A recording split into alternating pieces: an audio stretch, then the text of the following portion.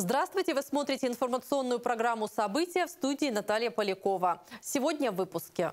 Во Дворце единоборств состоялось первое не спортивное, но концертное мероприятие. О том, что пел Николай Расторгуев и как выступала группа «Любовь» в сюжете Марии Сергеенко. Разговор о важном для учеников лицея номер 27 проводится каждый понедельник. Кто стал гостем очередной встречи, узнавал Андрей Мамошин. Жизнь в хоккее и хоккей в жизни. Известный брянский игрок и тренер Александр Анатольевич Воронин отметил 70-летие. В честь юбиляра в Ледовом дворце Брян состоялся необычный товарищеский матч.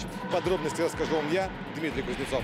Полицейские линейного отдела поздравили своего коллегу, ветерана Ивана Андреевича, с профессиональным праздником. Подробнее расскажу я, Александра Савельева. Во многих школах Брянской области открываются первичное отделение российского движения детей и молодежи. Школа номер 13 не стала исключением. На торжественной церемонии открытия побывал я, Дмитрий Газин. Атас, Батяня Комбат, Верка. Два десятка известных и любимых песен исполнила группа Любе на концерте в Брянске. Впервые действо такого масштаба состоялось во Дворце единоборств имени Артема Осипенко. Монтировать сцену начали за день до концерта. Четыре машины аппаратуры, дополнительный свет и звук, чтобы слышно было всем секторам. Купили новое антивандальное покрытие, надежное, плюс стулья для портера. Возможности Дворца единоборств под 4000 зрителей. Первый концерт для Брянска – это историческое событие. Уже сейчас понятно, что это, наверное, все-таки по той вместительности, по комфорту, по Э, по звучанию. И ну, все, что как касается проведения концертно-зрелищных мероприятий, я думаю, это единственная концертная площадка в городе, которая станет уже в дальнейшем, будет регулярной, и люди будут получать большое удовольствие здесь. И здесь мы можем уже возить разные, про разные проекты. Каждый из нас – это и есть Россия. Любе. В нашем выступлении услышите разные песни. И старые песни, и очень старые, а другими словами, из нашего обширного репертуара. А вот. Хотел спросить вас, как там звучит, все ли в порядке, потому что у нас, мы открываем вообще-то этот зал, здесь самое первое выступление, его недавно построили. И ты споешь, и тихо клены вздохнут, и вновь тебе подпою. Ребят с нашего двора. Как и планировал губернатор Александр Богомаз, дворец единоборств стал центром притяжения не только спортсменов, но и организаторов концертов, проектов, шоу. Акустика можно и слушать, и петь. Мы пойдем с конем по полю вдвоем.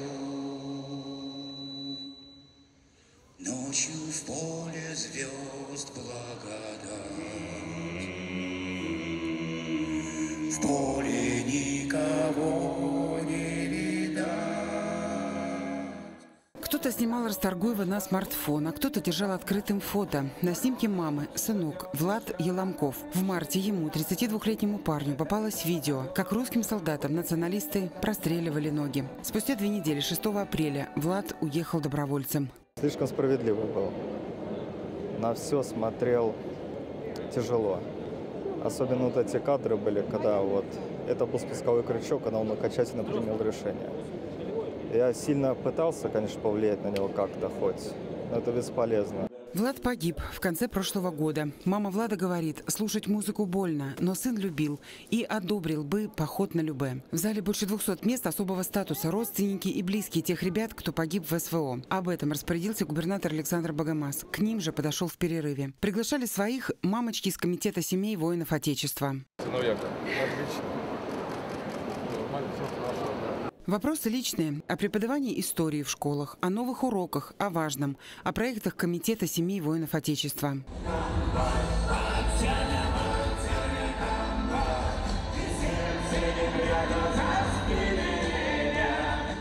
Концерт продолжался до 22 часов. На отлично сработал аппарат, свет, звук. Люди благодарили. Удобное кресло, кондиционер. Все в меру. С избытком были только эмоции.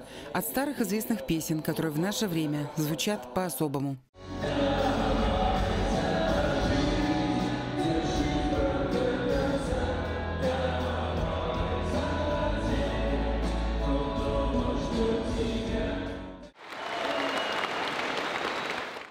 Пока шел концерт, выпал снег. Ко дворцу единоборств впадали дополнительные автобусы, троллейбусы. В соцсетях писали, по пути домой люди хором пели песни Любе. Мария Сергеенко, Дмитрий Матеров, Алексей Рязанцев. Брянск. Разговоры о важном. Каждый понедельник в школах, гимназиях и лицеях по всей стране обсуждаются самые актуальные темы. Исторические даты, великие люди, ситуация в стране и мире. А гостями тематических циклов становятся известные и интересные личности. К воспитанникам лицея номер 27 на открытый диалог пришел губернатор Брянской области Александр Богомаз. В этом классе выпускники. И все 11 лет обучения по понедельникам – классные часы, актуальные вопросы, наша история и, конечно же, обсуждение того, что волнует ребят, и не только их. Сегодня такая внеклассная работа – это цикл тематических мероприятий, проводится по всей стране. Разговоры о важном. Тема «Россия в мире». Именно в такие моменты, в такие дни можно понять, э, кто для нас друг, а кто а с кем для нас враг. Как Владимир Владимирович Путин говорил, наши братья, наши земляки, потому что связаны одной историей, одним языком, одной культурой, одними нравственными ценностями, переплетены с ними. И поэтому ну, мы не могли просто остаться в стороне и не помочь им. Россия и историческая правда. Почему нас не любят и боятся, кого мы защищаем и против чего воюем. Об этом поговорить с лицеистами пришел губернатор Брянской области Александр Богомаз. По обе стороны от него матери погибших героев. Людмила Журавлева, сын погиб в Сирии. Марина Седнева. Совсем недавно ее сын погиб в ходе СВО. Поговорить с ребятами о важном пришел и отец двоих сыновей, которые сейчас воюют на Украине, Александр Чайковский. И вот здесь очень важно, чтобы наши дети, наши будущие, как сказал правители России, понимали, понимали, а зачем, а для чего, а нужно ли это было делать, а почему у нас случается так, что на протяжении всего существования России никто нас в мире не любит. Почему нас в мире не любят, ребят? Ну, что боятся. Ну, многие видят э, в, нашей, в нашем государстве, в нашей стране большой источник прибыли, наверное. Ну, правильно. Ты ж молодец. Тема разговора близка каждому. У кого-то папа на СВО, у кого-то друг стал добровольцем. А у кого из вас родные и близкие сегодня участвуют в специальной военной операции? Кто руки у меня поднимет? Четыре человека, да? А кто? Кто? Двоюродный брат моей мамы. Двоюродный брат мамы. А у вас? Папа. Какой была страна до революции 17 -го года? Сколько партизан было в брянских лесах? Как сегодня люди живут в Европе и России? Губернатор делает акцент, насколько важна роль учителя в том, чтобы ребенок правильно понял то, что сегодня происходит в мире. Вот наши беды всегда от незнания старших и невозможности передать знания детям. О подвиге своего сына лицеистам рассказала мама погибшего Дмитрия Седнева. За что погиб офицер, военный медик, спасавший жизни своих товарищей. Почему другого пути для него не могло быть, как и для сотен других ребят, отдавших жизни, и тех, кто сегодня выполняет свой долг. Все это разговоры о важном. Дети должны знать, что мы защищаем и кто против нас сегодня опять же воюет. Андрей Мамушин, Сергей Дюков, Дмитрий Матеров. События Брянск. Полвека на благо брянского хоккея. 12 февраля 70 лет исполнилось известному игроку и тренеру Александру Анатольевичу Воронину. Человеку, который стоял у истоков создания Брянской хоккейной школы. В честь юбиляра в Ледовом дворце Брянск состоялся товарищеский матч, в котором сборная правительства Брянской области во главе с губернатором Александром Богомазом встретилась с командой регионального управления МВД «Динамо». В середине 70-х хоккейная судьба занесла уроженца Нижнего Новгорода Александра Воронина в Брянск. Здесь он встретил свою супругу и навсегда прикипел к городу на Десне. И вот уже почти 50 лет брянский хоккей – это все в жизни Александра Воронина. С его именем связаны лучшие времена Бежецкой волны, а затем уже и хоккейного Брянска. Работа в хоккейных школах главных команд. Как заправский кризисный управляющий он приходил на помощь в самые сложные для брянского хоккея периоды. Занимал место на тренерском мостике, Левицкий возглавлял тренерский совет. В бытность игроком Александр Воронин защищал ворота. И очень символично, что поздравить юбиляра приехал один из лучших вратарей в истории советского хоккея. Олимпийский чемпион, участник легендарной суперсерии СССР-Канада Владимир Мышкин. Мне очень приятно присутствовать на вашем празднике, посмотреть, как вы любите хоккей, посмотрите, какие эмоции вы уже до игры вы даете. Мне очень приятно поздравить юбиляра, человека, который вложил свою душу, вложил всю свою жизнь в развитие брянского хоккея. Хочется пожелать ему дальнейших творческих успехов и всем вам пожелать дальнейших побед и с гордостью нести знамя хоккея Брянской области. Мы все, и старшее, и молодое поколение, помним и знаем наших прославленных олимпийских чемпионов, чемпионов мира, чемпионов Советского Союза, таких как легенда спорта Владислав Третьяк, Петров, Мальцев, Харламов, Якушев. Ну и, конечно же, в этом ряду достойное место занимает наш уважаемый гость, дорогой гость Владимир Семенович Мышкин.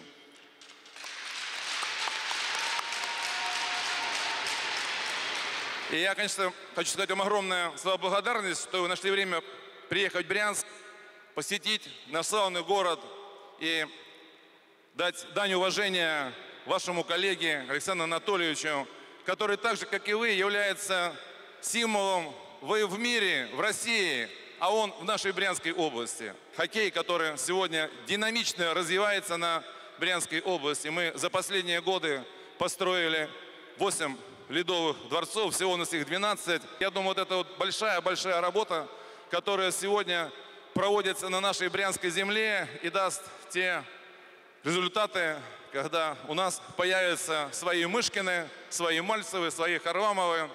Воспитывают будущих звезд брянского хоккея сейчас уже ученики Александра Воронина.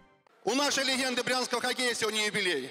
От имени депутатского корпуса из Брянской областной думы себя лично хочу поздравить этого человека, который, можно сказать, дал дорогу многим хоккеистам Брянской области, прославил брянский хоккей. И сейчас он с нами, у него сегодня юбилей. Дай Бог ему здоровья и дальнейших успехов. На льду сборной правительства Брянской области и регионального управления МВД «Динамо». Это не случайно. Помимо поздравлений юбиляру, товарищеский матч решено было приурочить еще к одной знаковой дате. В этом году отмечается столетие создания физкультурно-спортивного общества «Динамо». Мы, имея богатую историю, можем смело сказать, что воспитали и вырастили выдающихся спортсменов, наших земляков, Артема Осипенко, Илью Бородина, Ларису Куркину. И не только спортсмены, профессионалы, но и любители вносят свою лепту в развитие динамовского общества. Все, кто так или иначе связан с брянским хоккеем, прекрасно знают Александра Воронина. Про таких говорят безотказный. К Анатоличу, а именно так уважительно называют его хоккеисты, обращаются за консультацией команды чемпионата области и ночной хоккейной лиги. Он помогает молодым тренерам и колесит по районам в поисках талантов. Профессиональный подход к своему делу. Он, если на работу приходит в 6 утра, то бишь он всегда, он всегда на ногах, он всегда с нами, всегда подсказывает, всегда ну, всегда он с, э, с командой. Ну, я всю жизнь старался, чтобы быть честным, быть в отношении к хоккею. Старался быть, поднять этот хоккей, чтобы здесь была взрослая команда, мастеров команда. Потянутся дети, очень много ледовых дворцов выстроено. Я езжу по районам, поэтому наблюдаю, идут по всем районам дети, очень большое количество. И вместе с ними задействованы родители, Поэтому я думаю, у нас все получится. Команды решили порадовать юбиляра и зрителей яркой игрой и в обороне не отсиживаться. Точнее и удачливее в этом оказались игроки правительства, создавшие себе уже в первой половине матча солидный задел в счете. Мы дружим с этой командой, мы дружим с многими ребятами, кто там играет.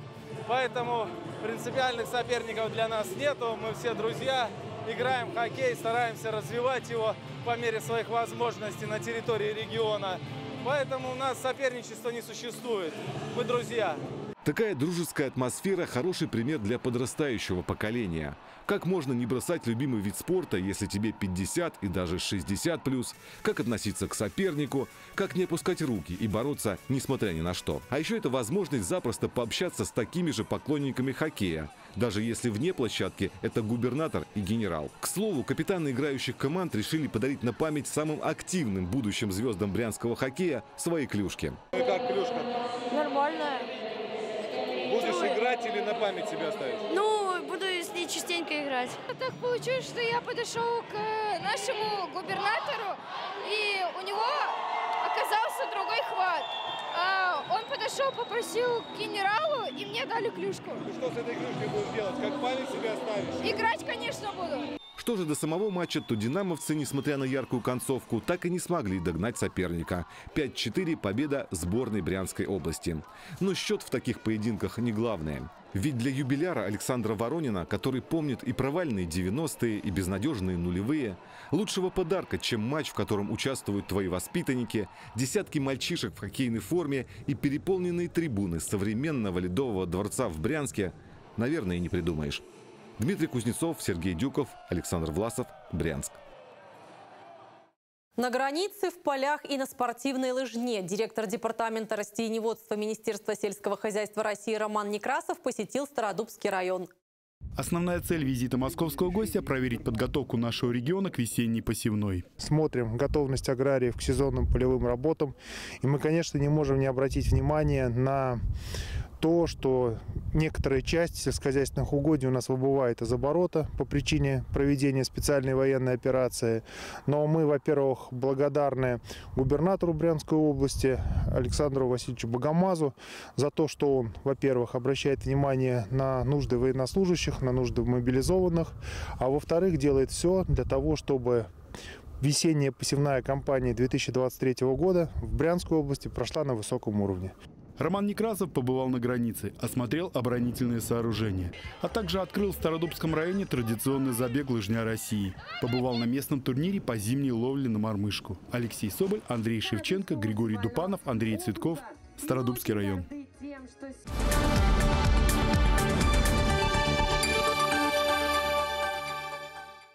Продолжается марафон открытий первичных отделений российского движения детей и молодежи в Брянской области. На этот раз в школе номер 13 имени Катунина и в школе номер 29 имени Кучерова. Объединяет всех детей одно движение. Там вы равны, все школьники страны. Ваши дела важны, и нет сомнения. Самого первого класса Полина выступает на школьных мероприятиях. Творчество ей нравится, но хочет попробовать себя в другом направлении. Я бы занималась тем, но в частности э, хотела бы вступить в волонтерство. До этого нет, не занималась, но я очень много читала об этом, смотрела, и периодически я тоже сама помогаю людям, независимо от каких-то организаций, поэтому мне это интересно. А Настя перешла в школу номер 13 всего полгода назад и уже ставит танцевальные флешмобы. Мне очень нравится творчество, мне нравится искусство и вот все, что с этим связано. Чтобы воплотить в жизнь свои задумки, обе девочки, как и другие учащиеся 13-й школы, вступили в российское движение детей и молодежи. Сейчас уже начнется электронная регистрация. Каждый учащийся от первого класса до 11 класса должен будет зарегистрироваться электронно с помощью родителей, либо с помощью классного руководителя. И каждый из 623 детей вступит в это движение первых.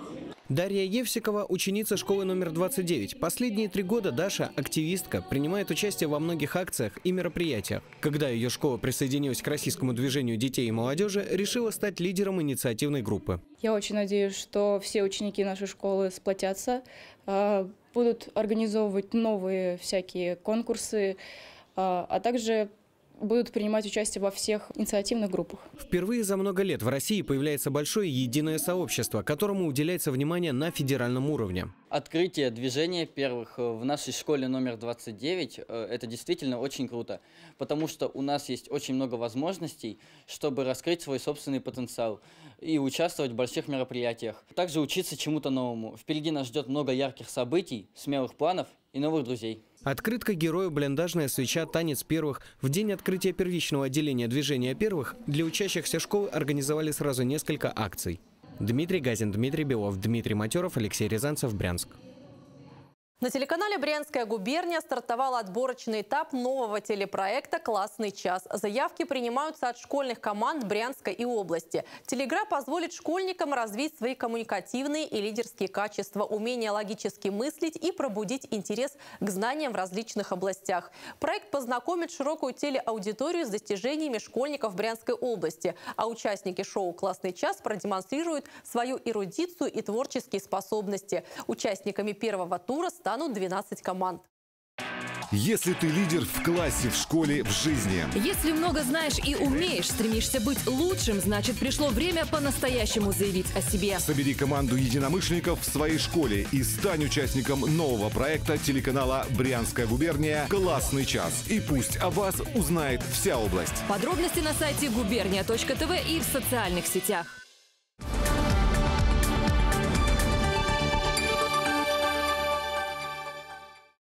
В Брянске пьяный автомобилист, пытаясь уйти от погони, разбил чужую машину и чудом не покалечил себя и пассажиров. Инцидент произошел ранним утром 11 февраля в районе площади Партизан.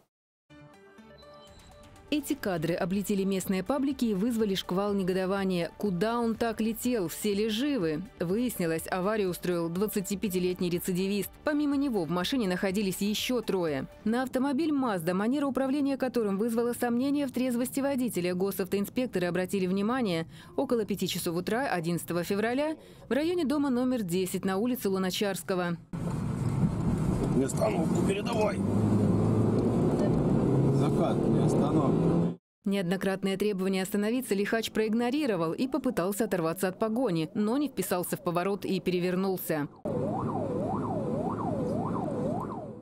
В момент ДТП в машине находились четверо, в том числе хозяйка иномарки. За рулем ранее неоднократно судимый 25-летний житель Карачевского района. Предлагаю вам пройти освидетельствование состояния алкогольного опьянения здесь на месте с помощью прибора драйвер. Вы согласны пройти?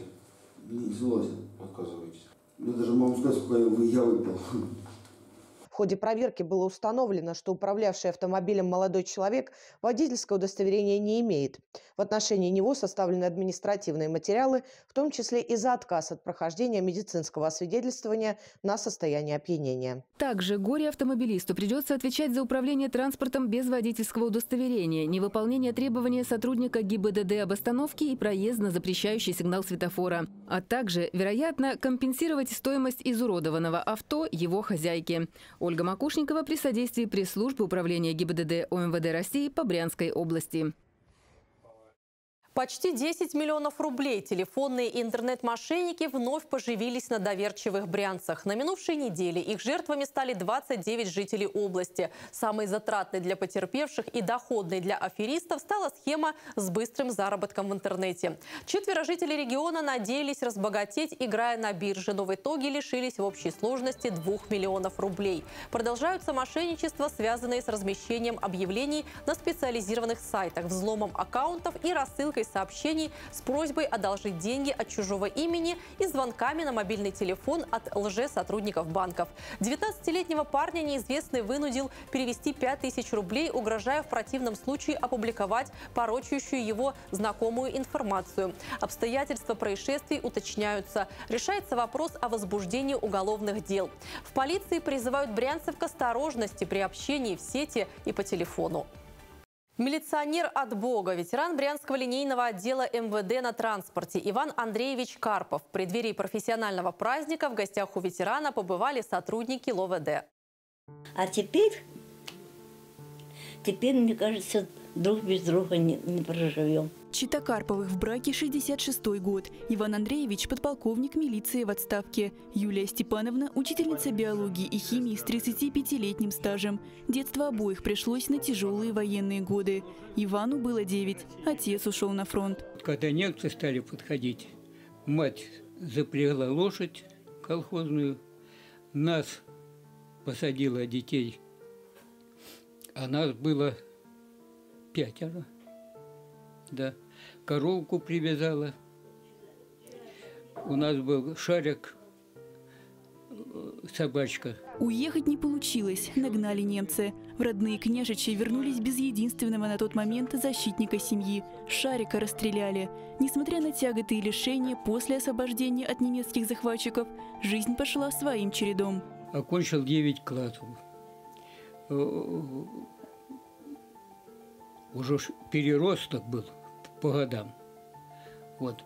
Забра... В 1952 году забрали в армию. КГБ. После Могилевская специальная школа транспортной милиции. Оперативный работник, начальник уголовного розыска. И, наконец, заместитель начальника линейного отдела полиции. Когда я работал все преступления были раскрыты, особенно убийства, грабежи, разбои. Я не один работал, конечно, это компания, и причем крепкая, и сознанием дела работать надо. Один ничего не сделает. Такие люди, как Иван Андреевич, э, действительно реально гордость, э, э, я не побоюсь сказать, Министерства внутренних дел Российской Федерации. Это люди, которые создавали эту систему, делали все на благо защиты граждан своей страны. Без надежного тыла в такой непростой работе не обойтись. Женились Иван и Юлия в апреле. Ему было 25, ей 27. Нам некогда было рожаться. У меня при, из школы прихожу, планы и все прочее, там все. Так, я сижу, и приготовить надо, и постирать, и все сделать. Ну, естественно, поздно ложилась. Раньше 12 я не ложилась, раньше 6 не вставала, то есть позже 6. И все, и скорее на работу. В 6 часов я уже на остановке на, в Радицу ездила на это, в школу.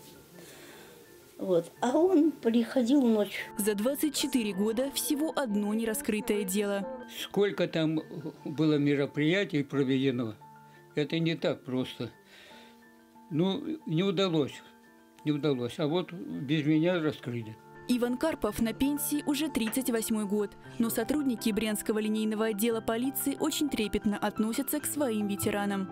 Мы стараемся хотя бы один э, раз в месяц э, их, конечно, навещать, не забывать, помогать, чем можем. Юлия Степановна занимается огородом. У Ивана Андреевича своя пасека. У пчеловода на участке 15 ульев. Ухаживать за таким количеством пчел – дело непростое. У меня отец был пчеловод. И э, он умер.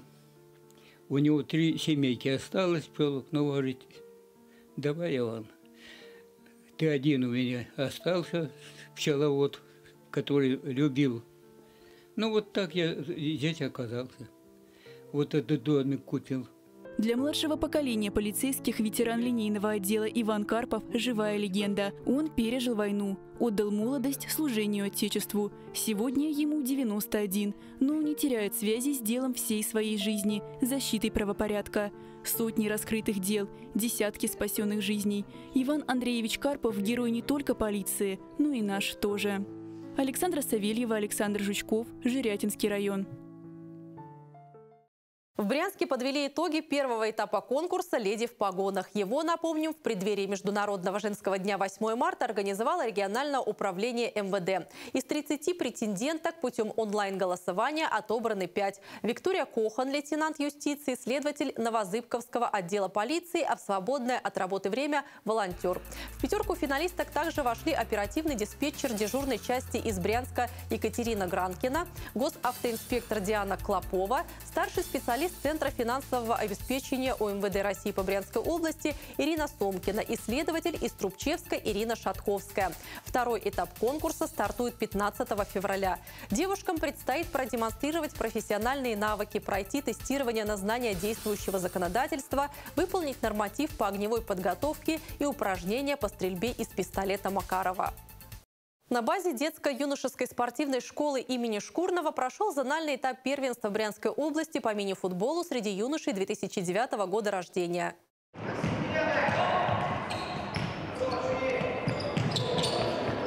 В первенстве по мини-футболу среди участников юные футболисты до 14 лет. В группу в клинцы попали такие команды, как Шкурного-1, Шкурного-2 клинцы, Луч клинцы, Новозыбков и Злынка.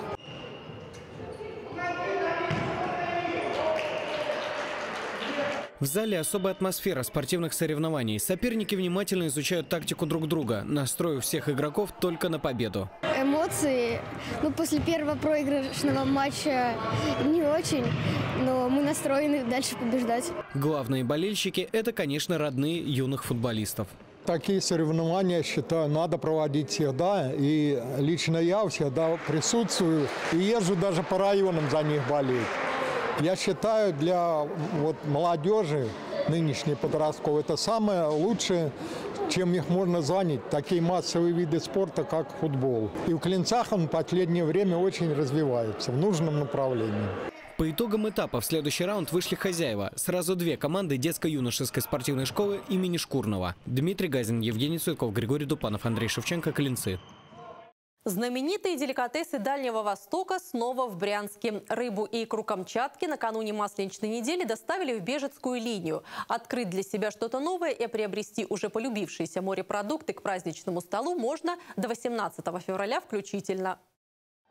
Интерес к этому павильону всегда повышенный. Еще бы, эти деликатесы не идут ни в какое сравнение с магазинными. Палтус, белорыбица, тунец, нерка, белуга и, конечно, хит камчатского улова – чевыча. Чевычу мы выбрали, любим, вот нравится. Полезная для здоровья, помогает? И полезно для здоровья, и настроение хорошее, поднимает силы наши. Рыба вяленая, слабосоленая, холодного и горячего копчения, в тушках и стейках, ароматная, сочная, аппетитная. Уйти без покупки просто невозможно. Чавычу взяла. Она готова уже. Нарезай и ешь. И, конечно же, куда без свежей красной икры. Отборная, крупная, словно откалиброванная, зернышко к зернышку. В каждом продукте кладезь незаменимых микроэлементов и полиненасыщенных жирных кислот омега-3 и 6. Я икру взяла. Рекламу услышала и пришла. Продегустировать и приобрести дальневосточные деликатесы можно на выставке «Икра и рыба Камчатская». Павильон работает на первом этаже Бежецкой линии до 18 февраля включительно. Светлана Дробкова, Дмитрий Матеров, Брянск. Будьте в курсе самые свежие и актуальные новости на нашем официальном сайте губерния.тв. Заходите и читайте прямо сейчас. В Брянске за минувшую неделю сотрудники ДПС оштрафовали 89 водителей маршруток. Стали известны итоги онлайн-голосования конкурса «Леди в погонах». Состав брянского «Динамо» пополнили три молодых игрока. Брянский путешественник Константин Петров отправился изучать пещерно-культовые святыни. В Стародубе в выходные прошел турнир по рыбной ловле на мормышку. Очередное пополнение в Брянском зоопарке. В Комарической районной больнице запланирован ремонт хирургического отделения. В Фокинском районе Брянска в 2023-м капитально отремонтируют 4 участка автодорог. Еще больше новостей на нашем официальном сайте губерния.тв. Более десятка видов рыбы, красная икра, мясо краба и вкуснейшая печень трески. Та самая рыба Камчатского края развернет торговлю с 14 по 16 февраля в Унече. Свежие продукты без использования заморозки напрямую с полуострова Камчатка. На специальных витринах той самой рыбы Камчатского края. Рыба красная, белая, слабосоленая, вяленая. Разных способов копчения. Низкокалорийный тунец, изысканная форель, тающая во рту белорыбица, нежнейший омуль и королевский лосось, чевыча. Побалуйте деликатесами своих защитников. А еще икра чевычи – самая ценная, самая питательная и крупная икра. В ней много макро- и микроэлементов – омега-3, фосфора. Из консервантов присутствует только соль. Та самая рыба Камчатского края гарантирует защиту от подделки. Вся продукция прошла сертификацию. Покупайте только у проверенных продавцов. К тому же перед покупкой икру и рыбу можно попробовать. Уйти без покупки невозможно, а купив один раз, обязательно вернешься снова. Изысканное лакомство к праздничному столу в одном месте в одно время. В Унече с 14 по 16 февраля по новому адресу улица Первомайская, 22 в клубе имени 1 мая. И это была последняя информация выпуска. Всего доброго и до встречи в эфире.